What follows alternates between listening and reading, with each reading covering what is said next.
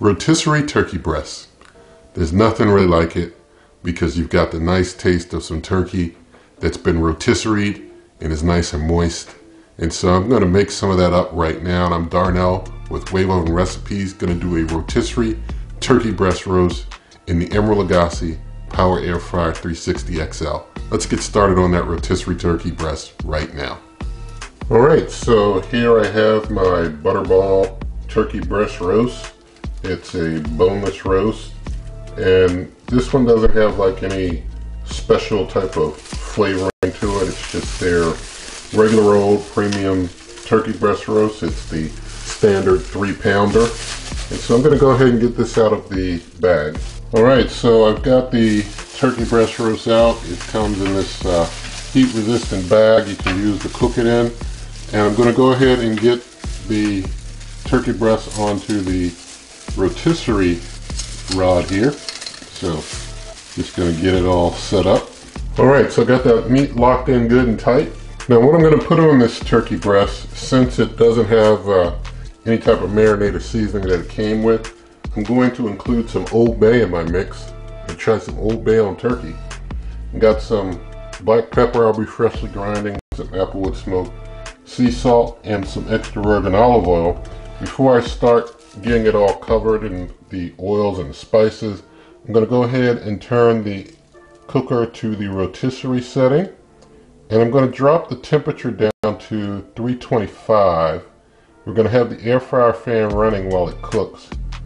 At 325, going to up the cooking time to one hour. I'm doing one hour and five minutes because really when it gets down to having cooked an hour, we're going to stop and check if needed, add more time. That's why I just pad it by five minutes.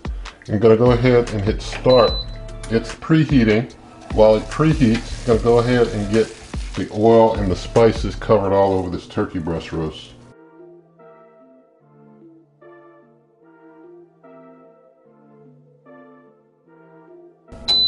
All right, preheat's done. Gonna hit pause, turn back to the full hour plus five minutes that I had. Gonna get this on into the rotisserie, like so. Get it nice and in there. Now I'm gonna go ahead and hit start and let that rotisserie spin it around a bit. All right, so I just want to give you a view of the turkey breast in there spinning on the rotisserie. You see it's spinning around. It's holding in there pretty well.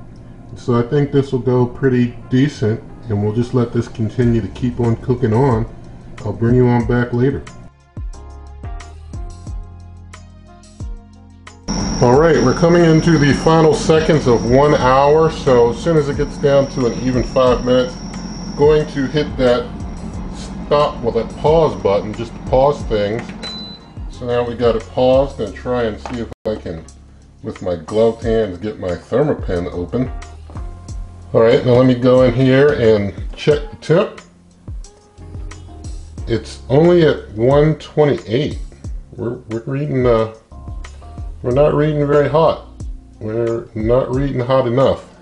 So I'm going to stretch that time out a bit. I'm gonna add 15 minutes to the cooking time here. So it's out to like 20 minutes. And gonna hit start.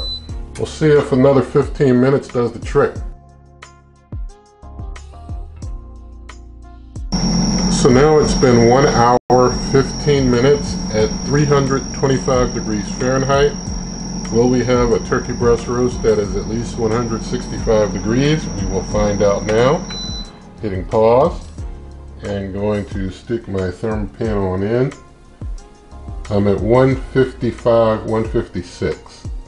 So I've gone for an hour, 15 minutes, and I'm still about 15 degrees or so away well 10 to 15 degrees away from my target temperature. So we still got a little bit more ways to go. I'm just gonna go ahead and just press it out for another, you know, it's probably gonna maybe overcook it a little bit, but I'm gonna cook it another, well 15 minutes is what I wanted. So I've just got it set at 20. I'm only gonna go another 15 minutes. So that'll be an hour and a half at 325. Hit start, gonna let that cook for that next 15 and then I'll bring you on back. All right, so now 90 minutes at 325 degrees Fahrenheit. Let's give it another check of the temperature and see if we're really all done now. Hitting pause and going to stick my Thermapen in. Wow, I'm at like one, well maybe, maybe I'm just not, all right, I think I stuck it too far in. It's reading 165. Yeah, it's reading over 165 and in the 170, over here near the air fry fan it's 180. Over here away from it, yeah, it's in the 190s. So it's good. I think I stuck it too far in that time, but took about 90 minutes really to ensure that we got that thing done because it really wasn't shown before no matter how I poked it. Um, anything over 165 earlier. So we're good and done now. There's our finished rotisserie turkey breast. I'm going to see if I can get it off of the rotisserie skewer. But uh, just want to give you a closer look there. All right, got the turkey breast sliding off of there now. So we have our completed turkey breast roast. Just going to let it hang out there for a moment to reabsorb some of those juices. All right, so just gave the juices a little time to reabsorb. As far as this bag, you know, you want to try and get this bag off best you can. It's kind of hard to get it off while it's still hot, but I will say if you eat any of it, you know, it's not going to mess you up, but it will be added fiber in your meal if you eat some of the bag. But I'm just going to slice down the middle of this turkey breast roast after it's been cooking all that time. You can get that off. You can see the inside is nice and juicy and moist and succulent looking. So it looks like it turned out very well. I'm just going to take a slice here and just slice a slice off of there like so and then just going to for the sake of a taste test see if I can get you know maybe a piece that is string free let's see if I can get some of this stringage off just a little bit alright so I know I got no string over there so we'll do our taste test from over here and so I've got this piece off here. We'll taste test with that. All right, it's turkey breast roast taste testing time. After 90 minutes rotisserie, let's see how it is.